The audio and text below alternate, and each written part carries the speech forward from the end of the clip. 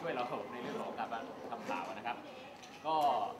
ตามนโยบายของท่านอธิบดีลาคบศรีสุภาอัตนะครับเมื่อท่านเป็นอธิบดีเนี่ยท่านให้ความสำคัญเกี่ยวกับเรื่องปกป้องสังคมอย่างมาก โดยเฉพาะในเรื่องของยาเสพติดเนี่ยท่านได้ให้ความสำคัญตากำลังในเรื่องของการดูแลเรื่องยาเสพติดให้นอกจากสำนักสืบสวนและปราบปรามแล้วเนี่ยตามด่านชายแดนและทุกจุดนำเข้าส่งออกนะครับ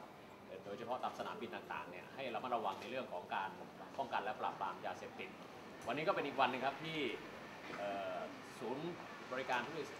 ผู้โดยสารท่าอากาศยานดอนเมืองสำนักงานศุลกากรกรุงเทพนะได้ร่วมกับหน่วยปราบปรามยาเสพติด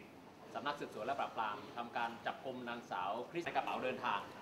จำนวน 2 กิโลเศษมูลค่าประมาณ 7 ล้านบาทเศษนะครับ เข้ามาโดยลักษณะการซุกซ่อนเนี่ยก็จะใช้วิธีทำซีลกระเป๋าเพื่อการซุกซ่อนมาเนี่ยโดยใช้ไม้อัดบางๆ แล้วก็ใช้กระดาษปิดครับเอ่อโดย ไอซ์นะฮะบรรจุ packing ประมาณ3 packing ซุกซ่อนมานะฮะครั้งนี้ก็เป็นครั้งแรกนะครับที่มีการจับกลุ่มยาไอซ์ล็อตใหญ่ที่สนามบินดอนเมืองหลังจากมีการเปิดสนามบินมานะครับโดยเป็น route ที่มาจากมาเก๊านะครับซึ่งปกติเนี่ยยาไอซ์เนี่ยจะ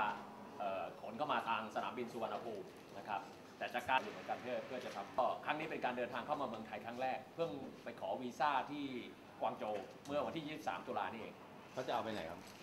ก็จะมาที่เมืองไทยเนี่ยแหละเอาเอามาส่งที่ไหนครับ โดยอ้างว่ามีชาวเอ่อแอฟริกันนะฮะที่มาจ้างเขาเอ่อหิ้วยาเข้ามา